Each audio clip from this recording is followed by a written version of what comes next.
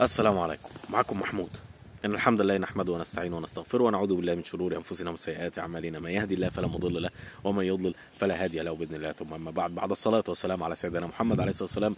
نبدأ حلقتنا معكم على بركة الله تعالى في هذه الطبيعة الخلابة والمنظر الرائع والجو اللطيف نسبيا في رياح باردة. بس الدنيا كويسة. أصبحنا وأصبح الملك لله. أنصاف الفرص. ساعات انصاف الفرص أقول لك ده إيه، اشتغل على أنصاف الفرص. ما تسيبش نص فرصة حتى ولكن في حاجة اسمها إن هي الفرصه أصلا نصفية. يعني يعني واحد مثلا عايز شغلانة يقول لك الشغلانه كويسة بس هي نص نص. يعني شغلانة مرتبها نص نص. آه الخبرات اللي هاخدها نص نص. آه، الناس اللي شغالة فيها نص نص دماغها يعني على قدها وبتاع. فيعني إيه كل حاجة نص نص. فدي ما تعتبرش أنصاف فرص بقدر ما هي آه، فرصة نصفية. العكس. إيه الفرق؟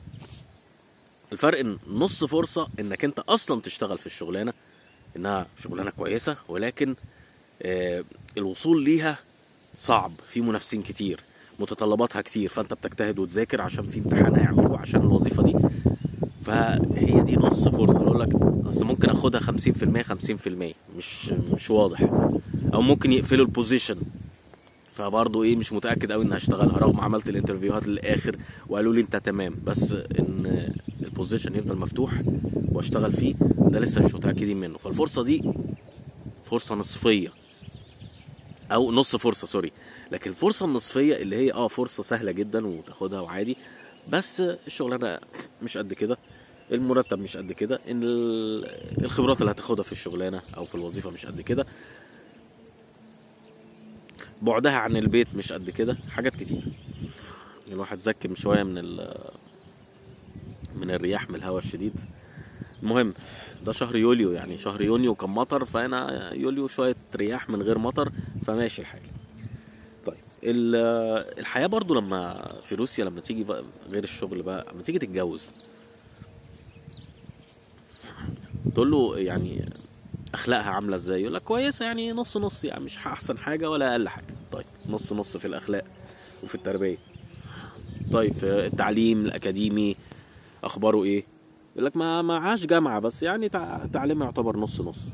طيب الجمال نص نص. طب هي موافقة عليك بتحبك يعني؟ آه بتحبني بس يعني حكاية إن إحنا ما اتكلمناش لسه في الجواز. يعني الموضوع برضو إيه نص نص مش بتحبك قوي يعني. فهو كل حاجة نص نص. فهل نمضي قدما؟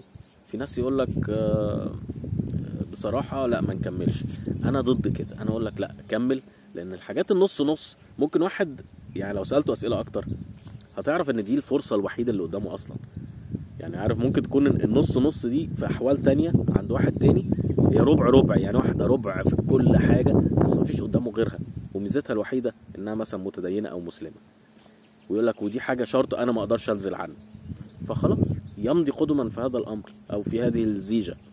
وربنا يكرمه ويوسع عليه بالربع فرصة ولا بالعشر فرصة اللي قدامه. يعني كتير من اللي بيتجوزوا من روسيا يقول لي إيه هي مش جميلة قوي وبتاع بس مسلمة. وعائلتها مسلمين والدنيا حلوة. فقال هي دي بس ال... وبتحبني وعايزة تتجوزني. خلاص واحد زائد واحد يساوي اتنين. واحد زائد واحد يعني إيه؟ دين كويس مع بتحبك يساوي اتنين. يساوي اتنين هيتجوزوا. بس فمبروك عليكم. وبارك الله فيما رزق. ففي فرق وده الفرق بقى إيه؟ إن أقول لك إيه؟ دي نص فرصة أنت اقتنصتها أو ربع فرصة وفي حاجة تانية فرصة نصفية. اللي هو آه واحدة جاية في أي حاجة عايز تتجوز أي حد كبيرة في السن مضروبة بالنار وفي أحسن منها في المجتمع. وأنت رايح آه، تقول لي لا أنا هاخد النص نص. لا كده أقول لك لا ده الغلط بقى.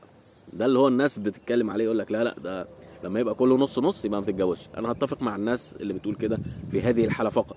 لما يبقى في حلول تانية وأنت اخترت الحل ده اللي هو النصفي اللي هي الفرصة النصفية وليس النصف فرصة اللي هي اقتناصها سهل.